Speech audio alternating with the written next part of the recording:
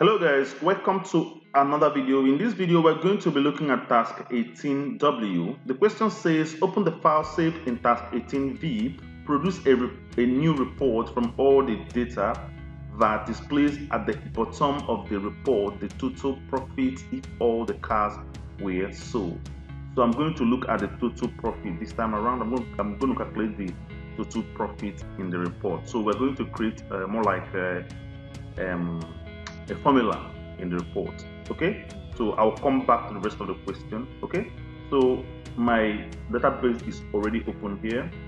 So what i'm going to do is to make a copy of task 18v here. So i'm going to right click on it and then copy and then paste right here okay? I'm going to save it as task 18w uh, and then remove this uh, copy at the back making sure that there's no space at the back right there otherwise it may be wrong. All right so I do that.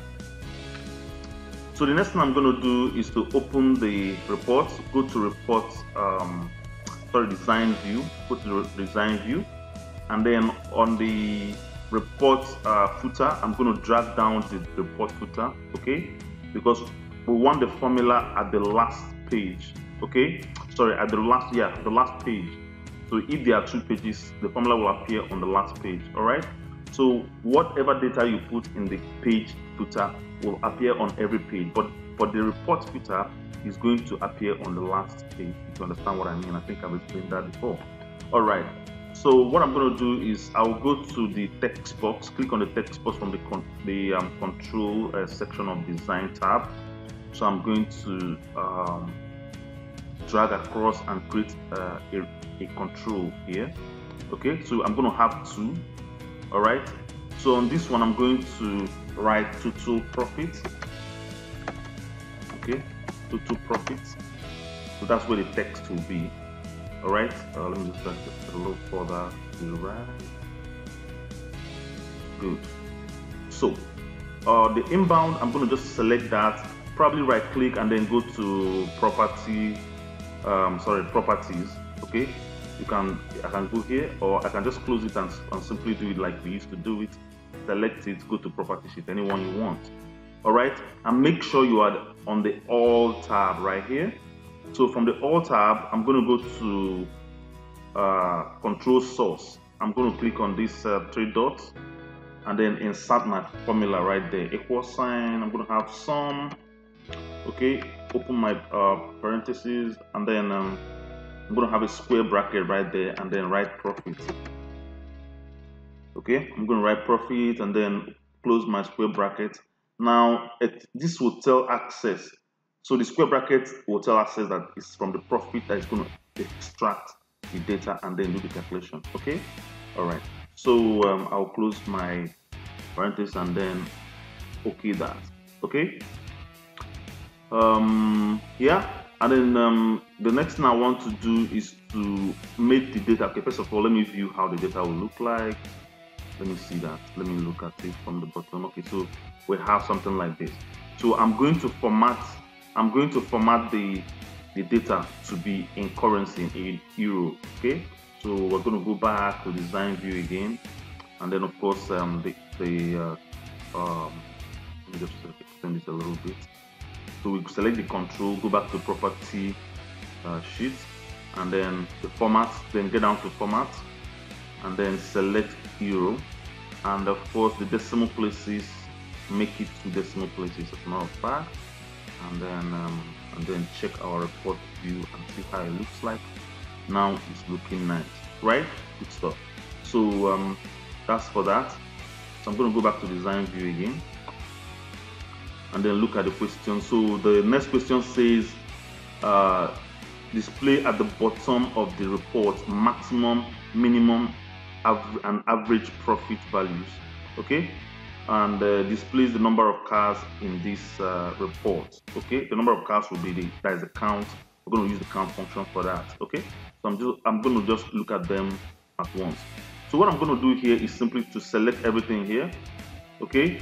And then simply uh, um, down the control key control C and then control V. Control V again control V again. So this will take care of max minimum and average. And then lastly control v again. I'm going to have for i'm going to have control for the what's it called again?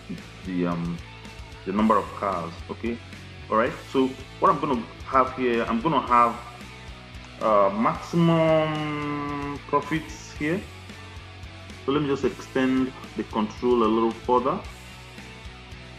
A little further. And I'm going to have um, maximum profit okay and then the next one is going to be uh, minimum profits. Minimum profits and then of course average profit the next one. Average profit. Average profit. And then lastly I'm to call it number of cars okay? Number of cars. I'm to call this number of cars. Good. Okay so I think we are good here. So what I'm gonna I'm to just uh, let me just uh, push this to the right a little further? And then do the same thing with this. Just look nice. Okay so just leave it like this and see how it goes when we do that. Okay so what i'm going to do is simply to change the formula here. Okay let me just see. But i can write it i can just adjust it right here by myself. Okay so i can just do it right here. So max i'm going to use the max function here. The mean as i'll simply write mean remove the sum write mean and then the average this time around is avg not the total the average like we have in excel. So i'm going to use avg this time around here. So here count still. So the, to count the number of cars so i'm going to have the count uh, text right here. And then um, check on my on my report view and i think everything is perfect. Okay? So this is how you're going to have it. Okay, I think here is not showing pretty well. Around the average profit, not showing pretty well. So I'm going to go back right there. Uh, design view, probably adjust it a little bit. I'll adjust the control a little bit and then see how it looks. Uh, let me see. Okay, so adjust that and see what it shows. So it's showing perfectly as I think everything is cool. So as you can see now, the number of cars now is in uh, what's it called? Is in euro and, and two decimal places. We don't really need it to be in currency. So i'm going to go back to my design view select the control and then go to property sheet making sure that the format will be in general something like that. Okay? Either uh, should i put it in general? Yeah general number. I'll have it in general number. And then and then reduce the decimal places to zero okay? And then view that again in the in the uh, report view and I think the number of cars will be 19 here okay? So uh, I think that's that's it for the questions so um, that's it for the video. So if you have any question please leave a comment down below all right?